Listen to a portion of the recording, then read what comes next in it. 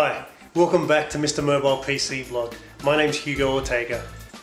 Now today I'm usually used to showing you a notebook or a tablet which is in my hand, something small, and I flip it around, touch it. Now today I actually have an opportunity to showcase a desktop. Now um, you can see how large these things are. Um, this is part of Tegatech's um, Platinum range. So it's a, it's a new range of custom desktops that really showcase all the latest technology inside. But rather than go through exactly what this particular one is about, I just wanted to cover off three core ingredients to making a great desktop. Whether you use these ingredients yourself when you're making your own desktop, or whether you, you get someone like Tegatech to build it for you, you should still consider these three core ingredients.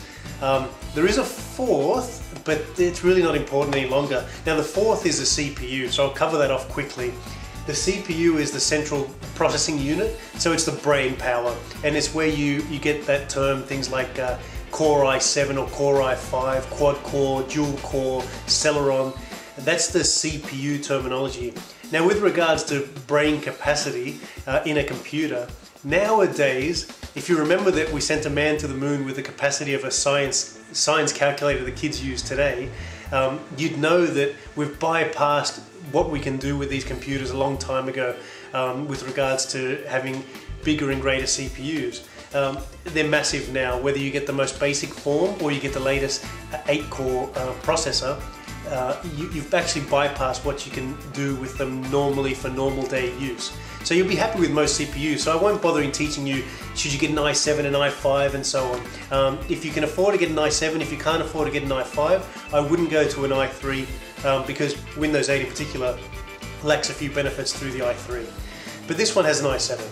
But what I want to cover off today were really three core functionalities. Three that something like a platinum desktop, and this is a big beast here, but a, a lovely uh, geeky beast uh, if, if, you um, follow me. I love this stuff.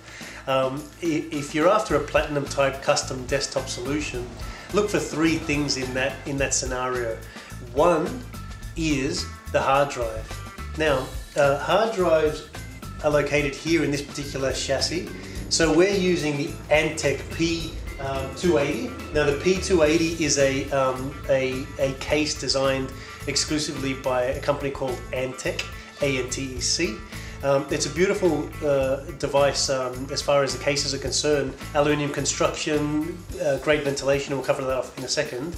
Um, but uh, one of the benefits of the Antec case is the multiple hard drive bay.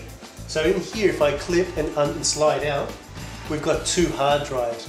So let's cover that off first. I'll just grab Here's one I prepared for you earlier. So if you haven't seen a hard drive before from a desktop, this is what your hard drive looks like.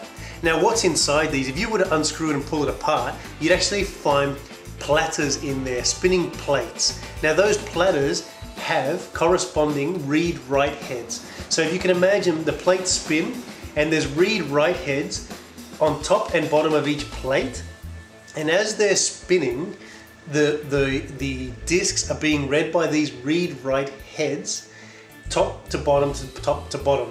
Now when you do things like um, uh, disk cleanup, um, for want of a more geeky explanation, what you're actually doing is getting all the parcels or pockets, uh, or what they're actually known as packets of data, um, from those platters and reorganizing them into a, a more parallel manner so that the read-write heads can read faster. And it's always good to optimize your hard drive every couple of years, if not every couple of months, um, just so that those read-write heads are doing less work. Now, if you have a C drive and that's all you've got in your desktop, what you've got is only one of these. Now, if you've got a D drive that's part of storing your data, you might not actually know until you uh, physically open up the computer whether you've got one of these or two of these. Why? Why? Because inside, what a lot of manufacturers tend to do, which are cutting costs for you and trying to keep the cost down, is partition the hard drive. And what that means is basically take a physical hard drive, which is what I have in my hand, and slice it in half virtually, so allocating two lots of spaces to that hard drive, so that you have a C drive and a D drive. Now, if you think about those platters, if you're still following me, and I hope you are, if you think about those platters and those read-write heads, doing all that work to find data up and down the hard drives, hard drive, if you slice that hard drive inside, so create a C for your programs and a D inside the one physical hard drive, to read write the data, you're actually causing the read write heads to work harder and faster, putting pressure on the CPU. So, what does a platinum type desktop have? If you notice before, I pulled out not just one but two physical hard drives, so two of these guys. Now, what that means now is that there's a physical C drive, and that's the top one here, for all your applications, operating system, and so on. And then there's a second physical hard drive for all your data. And the benefit to that is that the CPU now is reading and writing to the C drive when it's talking to the application. So saying, um, when you click on Word, for example, CPU's gone into the, the, top drive and going, oh, I want to pick up Word, the application. I'm going to go into Office. I'm going to grab Word. I'm going to launch it. The, the second drive, which would be listed as a D in this option, is your data. So in the CPU now instead of sending all the information to the read write heads to get the application and the information in the Word documents, it's gone, hey, I'm going to grab the Word document, and hey, I'm going to now grab the, the data from the second physical hard drive. And so the, the, all the read write heads and the CPU are working um, individually. So if, if you like, as, as they do in an, in an ant uh, farm, um, everyone has their task. And the more people that have their task, the more soldiers, the more the work gets done effectively. So the number one ingredient for um, looking at a, a um, optimized desktop in a platinum style um, uh, arrangement for yourself is actually looking at two physical hard drives for your applications and for your data. And nowadays, the cost of hard drives is so low that everybody should do this. And so if you're requesting a new PC from someone like Tegatech or from anybody, make sure you get two physical hard drives. Now, the second component is just in here, is your graphics card. Now this is quite a big beast if you know computers, but it's quite simple to understand what this does. As per the, the conversation of hard drives, it's a similar conversation with graphics cards. Now if you look behind here, this big silver, so not this one, take away this, I'll talk about this in a second, but the blue component at the back, that's actually the motherboard. And um, if you look a little bit closely here on the side, um, there's RAM there. So motherboard houses a CPU, RAM, and whatever else you need to, to uh, build up the components to make a premium type solution. Normally in a basic uh, solution, so in a good, better, best model, best being your platinum, good being your, um, your, uh, your base model, normally graphics cards or devices are included on the motherboard. So they sit on the motherboard itself. And what that actually means is, technically, the, the graphics card is actually grabbing um, uh, RAM and CPU from the motherboard and other crucial components to share the workload. So it's going, oh, I, I, I want to now grab a page uh, and shoot it up to, um, to the screen. And I want to power this screen to, to multitask, for example. If you have a graphics card incorporated on the actual motherboard, you're actually throwing back that information and that, that, that um, uh, workload to the CPU and the RAM. When you have a dedicated graphics card, so something like this, now again this is a big B, so again it's part of that platinum range, this CPU, uh, this sorry, it's actually called a GPU, graphics processing unit, so this graphics card has a GPU built inside, so it's got its own CPU if you like, so the CPU is on the motherboard, so central processing unit to actually think and use the brain power for the motherboard. This one has its own CPU called the GPU, which actually does all the visual brain power stuff. So it thinks and processes all the visual stuff. So as per the hard drives, if you have a dedicated hard drive for each part of the equation you're trying to address, uh, one being the operating system, two being your data, it's the same for graphics. If you share the graphics on the motherboard, you're having to actually um, steal uh, processing power from the CPU. If you have your own GPU, um, graphics card, you're actually now dedicating that component of the thinking to its own device. And so it starts to enable the device to think faster, think quicker, power two monitors, three monitors.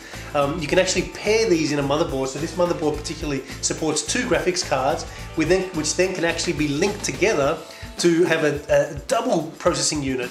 Um, uh, so for gamers, for example, they love that sort of thing you can power multiple monitors and run extensive 3D graphics on these types of devices. Um, so have a dedicated graphics card. again like the hard drives, they're so cheap nowadays that having a dedicated graphics card is real easy to request. Obviously many levels of, of what quality graphic card goes in there, but you can now afford to have a dedicated graphics card in every desktop.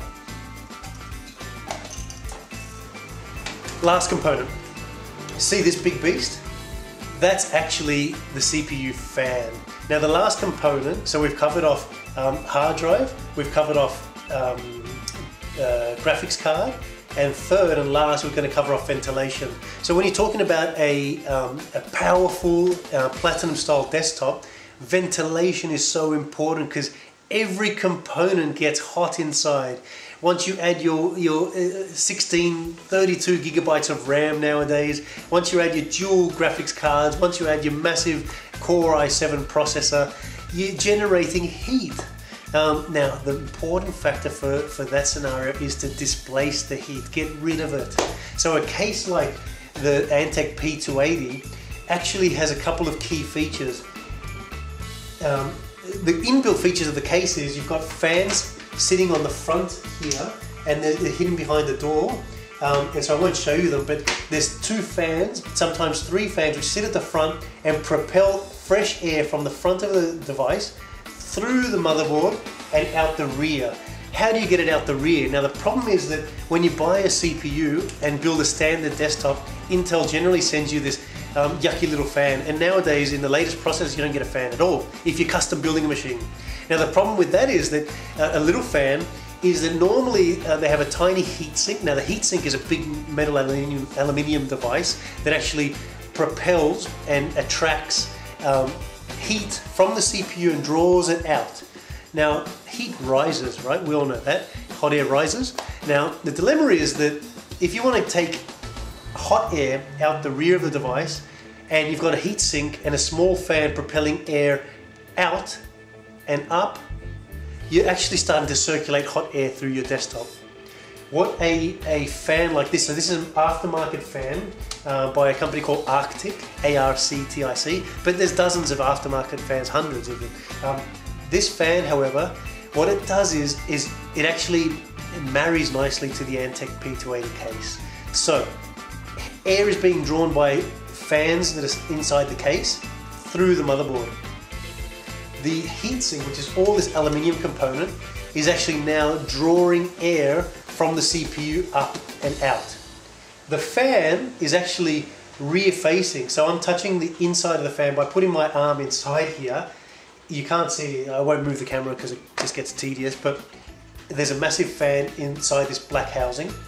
That's not bringing air out towards me, it's actually shooting air towards the rear now of the case fans on the, on the case, drawing air through the motherboard, CPU heatsink drawing air out from the CPU, fan rear facing drawing air to comply with the air that's coming this way, out towards the rear.